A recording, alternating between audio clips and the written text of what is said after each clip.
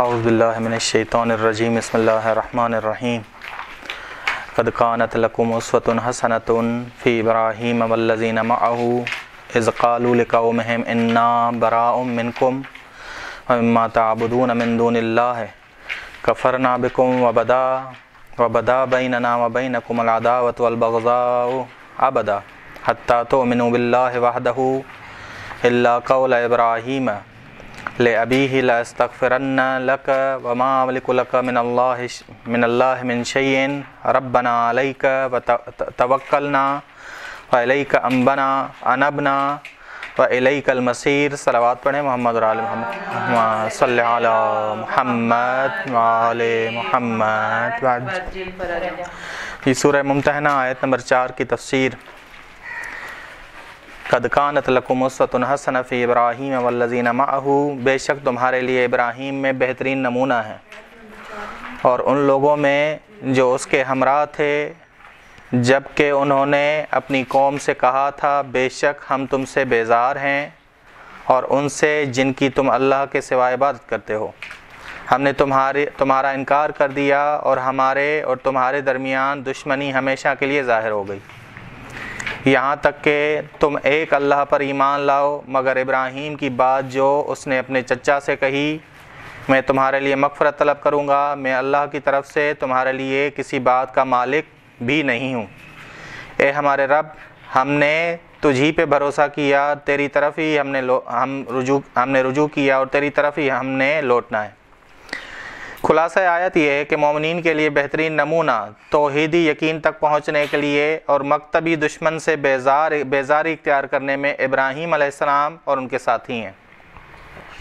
جنہوں نے مشرق لوگوں اور ان کے معبودوں میں سے بیزاری اختیار کی اور ان سے دائمی دشمنی اور بغض کی وجہ توحید سے توحید سے ان کو دشمن ان ان کے دشمنوں کا ان کے ان کو ان سے دشمنوں سے ہٹنا تھا اور ابراہیم علیہ السلام نے اپنے چچا سے کہا کہ خدا واحد پر ایمان لاؤ، پھر میں تمہارے لیے استغفار کروں گا اور خدا واحد دے مالک مطلق ہے۔ مالک مطلق ہے اور وہی تمہیں بخش بخش سکتا ہے اور ہم اسی پر بھروسہ کرتے ہیں۔ تفسیر یہ ہے کہ بہترین نمونہ توحیدی یقین تک پہنچنے کے لیے اور مکتبی دشمن سے بیزاری اختیار کرنے میں ابراہیم علیہ السلام ہیں، جنہوں نے اپنے چچا سے بیزاری اختیار کی۔ جسے قرآن کریم نے مومنین کا معنوی باپ کہا ہے۔ ابراہیم علیہ السلام کو معنوی باپ کہا ہے۔ ملت ابی کم ابراہیم وسما کم المسلمین من قبل۔ سورہ حج آیت نمبر اٹھتر۔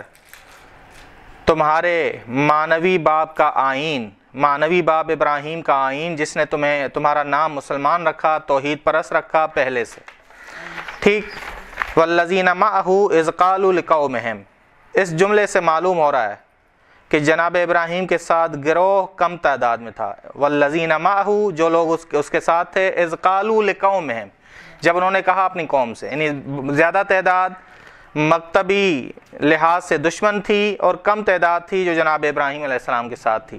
تبھی کا جو لوگ ان کے ساتھ تھے، مل کر انہوں نے ان اپنی قوم سے کہا۔ ٹھیک ہے، بس قوم کی تعداد زیادہ ہے۔ لفظ قوم یعنی زیادہ گروہ۔ اس آیت میں اس سے یہ نہیں معلوم ہو رہا کہ جناب جناب ابراہیم علیہ السلام کے چچا کافر تھے تو جناب ابراہیم علیہ السلام کی براعت میں شامل نہیں تھے۔ بلکہ آیت یہ بیان کر رہی ہے کہ اگر وہ توحید کی طرف پلٹتے تو جناب ابراہیم علیہ السلام ان کے لیے استغفار کرتے۔ ایسا نہیں ہے کہ جناب ابراہیم کی برات میں شامل نہ ہوں۔ یا ابراہیم نے رشتہ داری کی وجہ سے دل پہ چوٹ کھالی ہوگی اور خدا سے ان کے لیے استغفار طلب کیا ہوگا، باقیوں کے لیے استغفار طلب نہیں کیا ہوگا۔ ایسا نہیں تھا۔ جیسے ایک سو چودہ سورہ توبہ کی آیت ہے، وما کان استغفار ابراہیم لابیہ الا ان موعدۃ وعدها ایاہ فلما تبین له انه عدو للہ تبرأ منه۔ وضاحت کر رہی ہے کہ بیزاری جو کر رہے ہیں ابراہیم علیہ السلام، اس میں ان کے چچا بھی شامل تھے۔ ٹھیک۔ ان ابراہیم لواہ حلیم ابراہیم کا اپنے چچا کے لیے بخشش کی دعا کرنا ایک وعدے کے سبب سے تھا جو اس سے کر چکے تھے۔ اور وہ وعدہ یہ تھا کہ اگر وہ توحید کی طرف پلٹ آیا تو استغفار کریں گے۔ پھر جب انہیں معلوم ہوا کہ وہ توحیدی توحیدی مکتب کا دشمن ہے تو اس سے بیزار ہو گئے۔ بے شک اللہ ابراہیم، بے شک معذرت، بے شک ابراہیم بڑے نرم اور تحمل رکھنے والے تھے۔ ٹھیک، بس یہاں یہ آیت آیت نمبر ایک سو چودہ سورہ توبہ کی یہ بیان کر رہی ہے کہ جناب ابراہیم علیہ السلام ایسا نہیں تھے کہ اپنے چچا کے لیے نرم رویہ اختیار کر رہے تھے، ان کی برات میں ان کے چچا شامل نہیں تھے۔ وزقر فی الکتاب ابراہیم انہو کان صدیقن نبیہ سور فورٹی ون ہے سورہ مریم کی۔ اور کتاب میں ابراہیم کا ذکر کر بے شک وہ نہایت سچے نبی تھے۔ از قال لابیہ یا ابت جب کہا اس نے اپنے چچا سے، اے میرے چچا لمت عبدو، کیوں تم عبادت کرتے ہو مالا یسما جو سن نہیں سکتا اس کی نہ دیکھ سکتا ہے، ولا یغنی ان کا شیعہ اور نہ ہی ذرا برابر تمہیں فائدہ پہنچا سکتا ہے کسی کے مقابلے میں. ٹھیک. یا ابت، انی قد جانی من العلم، اے میرے چچا، میرے پاس علم آیا ہے، ما لم یاتک، جو تیرے پاس نہیں آیا فتبعنی پس تو میری پیروی کر اہدک میں تمہیں ہدایت کروں گا سراتن سویہ۔ سیدھے راستے کی طرف، یا ابت اللہ تعبد الشیطان۔ اے میرے باپ اے میرے چچا، تو شیطان کی عبادت نہ کر، ان شیطان کان الرحمن عصیہ۔ اور شیطان ابھارتا ہے خدا کی نافرمانی کی طرف، کیونکہ وہ خود نافرمان خدا کا ہے۔ یا ابت انی اخاف این یمسک عذاب من الرحمن فتکون للشیطان ولیہ۔ اے میرے چچا بے شک مجھے خوف ہے کہ تم پر اللہ کا عذاب آئے، پھر تم، پھر شیطان کے ساتھی ہو جاؤ۔ اس وقت کس کے ساتھی ہو؟ شیطان کے ساتھی ہو۔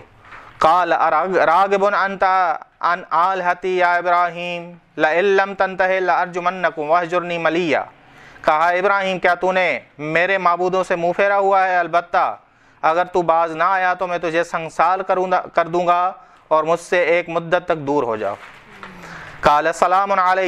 کہا، تیری سلام تیری سلامتی رہے استغفر لک ربی، ان قریب میں تیرے لیے استغفار کروں گا اپنے پروردگار سے، انہو کان بی حفیہ۔ اور بے شک وہ مجھ پر بڑا مہربان ہے، اس کی مجھ پر بڑی رحمت ہے۔ حفیہ یعنی رحمت کا گھیراؤ۔ اس پر، میرے اوپر اس کی رحمت کا گھیراؤ ہے۔ وَأَتَزِلُكُمْ وَمَا تَدْعُونَ مِن دُونِ اللَّهِ وَدْعُوا رَبِّي۔ عَسَىٰ اللَّهَ أَكُونَ بِدُعَاءِ رَبِّي شَقِيًّا اور اگر مکتب توحید کی طرف نہ آؤ تو میں بیزار ہوں تم سے اور جنہیں تم اللہ کے سوا پکارتے ہو اور میں اپنے رب کو ہی پکاروں گا۔ امید ہے کہ میں اپنے رب کو پکار کے محروم نہیں ہوں گا۔ یعنی استغفار سے پہلے بھی بیزاری کا اختیار اختیار کر رہے تھے۔ استغفار کے بعد بھی جب دیکھا کہ استغفار کی کوئی پوزیشن ہی نہیں بنتی، حالت ہی نہیں بنتی کہ پلٹ آنے کی کوئی وعدہ جو اس نے کیا تھا کہ میں پلٹ آؤں گا، اگر صحیح دلائل دیکھے تو وہ اس کی طرف پلٹ آنے کی کوئی گنجائش نہیں تھی تو جناب ابراہیم نے برات اختیار کی۔ ٹھیک؟ یہ وہ میں تم سے جدا ہوں۔ ٹھیک؟ بیزاری اختیار کرتا ہوں۔ ٹھیک؟ فلما فلما اعتزلهم وما يعبدون من دون الله ووهبنا له اسحاق ويعقوب وكلا جعلنا نبيا۔ پھر جب ابراہیم نے ان مشرقوں سے علیحدگی اختیار کی یعنی چاہے وہ چچا ہوں یا دوسرے ہوں، اور ہم نے ان پر ایک نب، ہم نے ان کو نبی بھی بنایا اور اسحاق، یعقوب کو بھی عطا کیا، جنہیں ہم نے وکلن جالنا نبیہ ابراہیم کو بھی نبی قرار دیا، اسحاق کو بھی نبی قرار دیا، یعقوب کو بھی نبی قرار دیا، جو عطا کیے ہم نے ان کو بھی نبی قرار دیا۔ یہ آیت بیان کرتی ہے کہ جناب ابراہیم علیہ السلام چند امور میں ہمارے لیے اسوہ حسنہ ہے پہلا، مکتب توحید کے دشمن، چاہے ان کے چچا، ان کی قوم ہو، ان سے بیزاری اختیار کرنے والے۔ اس لحاظ سے جناب ابراہیم اسوہ ہیں۔ دوسرا، اپنے رب پر ہی توکل کرنے میں جب ان کو آگ میں ڈالا گیا۔ رب، آئی کیا آیت میں آیا کیا؟ یہ آخر میں دیکھیں۔ ربنا علیہ کا توکلنا و علیہ کا انبنا و علیہ کل مسیر توکل صرف خدا بند عالم سے کرنا ہے۔ اگر آپ نے مکتب توحید کو چنا ہے، تو مکتب توحید کو چننے کا عملی نمونہ خدا پر ہی بھروسہ کرنا ہے۔ چاہے تمہیں آگ میں ڈالا جائے، تم توکل کس پہ کرو؟ خدا بند عالم پہ۔ تیسرا، اپنے رب کی طرف ہر مصیبت میں رجوع کرنے کے لحاظ سے۔ ہر مصیبت میں رجوع کس کی طرف کرو؟ خدا بند عالم کی طرف۔ توکل بھی کرو، رجوع بھی کرو۔ چوتھا مات کو یاد کرو۔ مات کو یاد کرنے کے حوالے سے یہ ہے مسیر الیکل مسیر بس یہ صفات تھیں جناب، اور مکتب توحید کا فائدہ ابراہیم کو کیا حاصل ہوا؟ اس مکتب توحید کا فائدہ کیا حاصل ہوا؟ روایات میں آیا ہے کہ وہ مقام امامت تک پہنچے۔ نبوت اور رسالت کے بعد مقام امامت تک پہنچے۔ ٹھیک تبھی امام جعفر صادق علیہ السلام فرماتے ہیں، فلما علم ابراہیم جب ابراہیم کو معلوم ہوا کہ انہوں نے عہد نبھا دیا ہے، تو خدا بند عالم نے انہیں امامت عطا کی۔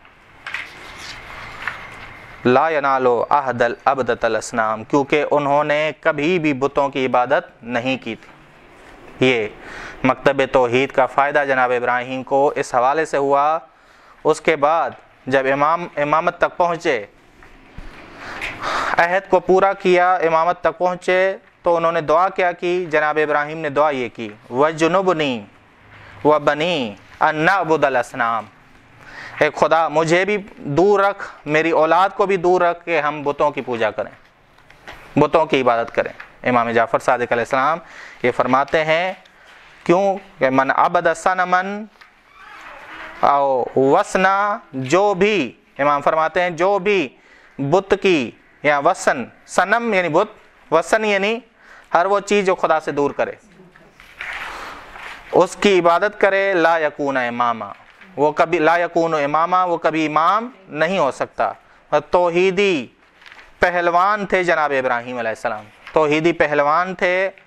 کبھی انہوں نے شرک نہیں کیا، بلکہ شرک کے خلاف ہمیشہ قیام کیا اور قیام جب کیا، پورے اترے تو خدا بند عالم نے گواہی دی فَأَتَمَّ ہن فَأَتَمَّ ہن ایمان پہ پورے اترنے کی گواہی خدا بند عالم نے دی۔ بس مکتب توحید سے کبھی جدا نہیں ہوئے، اس وجہ سے جناب ابراہیم علیہ السلام اسوا ہیں، کس کے لیے؟ ہمارے لیے۔ رسول خدا صلی اللہ علیہ وسلم کی مکی زندگی میں اسوا ہیں جناب ابراہیم، رسول خدا صلی اللہ علیہ وآلہ وسلم کے لیے کہ دیکھو ایسی مشکلات ابراہیم پہ آئیں، تم نے بھی ان کا مقابلہ کرنا ہے جیسے ابراہیم نے مقابلہ کیا۔ صلی اللہ علیہ محمد اہل بیت طیبین الطاہرین۔